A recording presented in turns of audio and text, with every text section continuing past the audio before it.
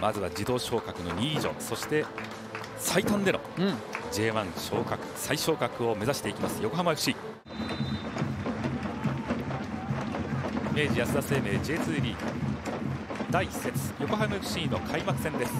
ホーム横浜 FC アウェイ大宮 RD ジャの一戦非常に日本文化にも精通しているそうですね。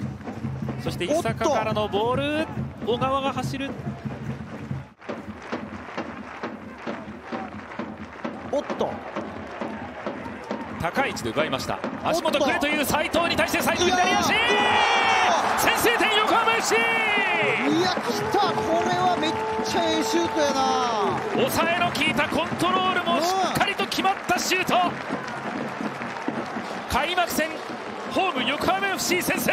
向かってますから、トラップでまず前に行ってもう打つぞという形で、まあ、ちょっと浮いたんですけど、はい、それがまたいい形にいいシュートに逆になりましたよね、いいワンタッチで斉藤康介入れた足元シュート押し込んだ。トラップから小西選手からクロスでシュート打ったんですけど、はい、あの辺り、横浜市は3人4人いたと、はい、矢島からのボールシュート!決めました茂木!まで入ってこなかった。茂木後半で先ほどね、はい、1回あの裏で取った時ありましたけど、うんゴールを決めた茂木。クロス。いい形で矢島。完璧な完璧なシュート。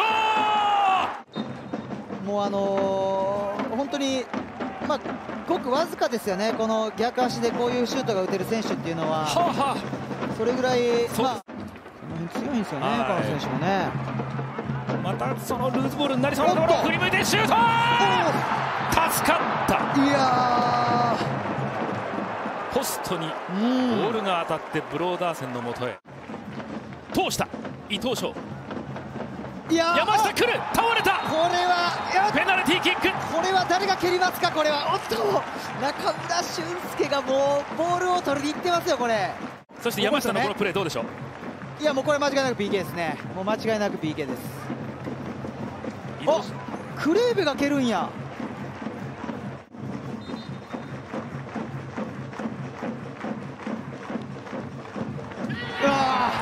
横浜 FC アディショナルタイム勝ち越し。